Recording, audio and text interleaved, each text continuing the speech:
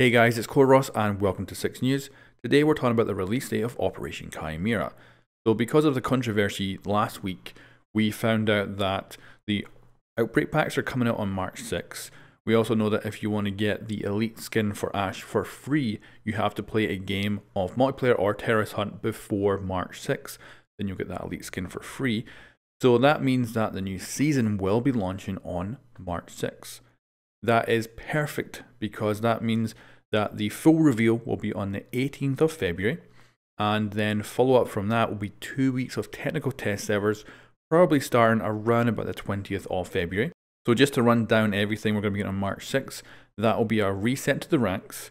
Two new operators will get released.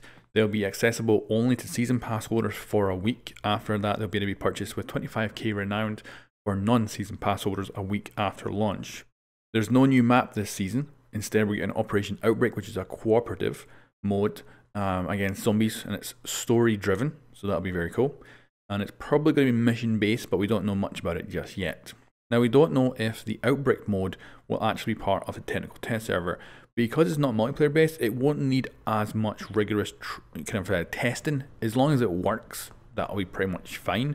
If anyone finds a way to cheat it, it probably doesn't matter.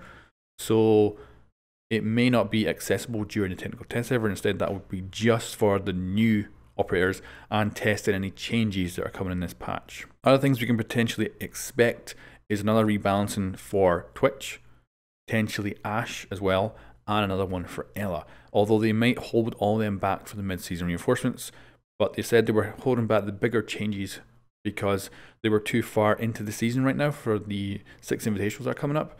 So it would be smart to get all this rebalancing done right at the start of the season if they're worried about putting out midway through. So that's pretty much it, apart from also teasers will pretty much start next week.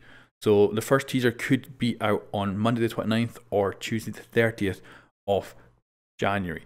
So that means the teasers could start coming out really quick and very soon.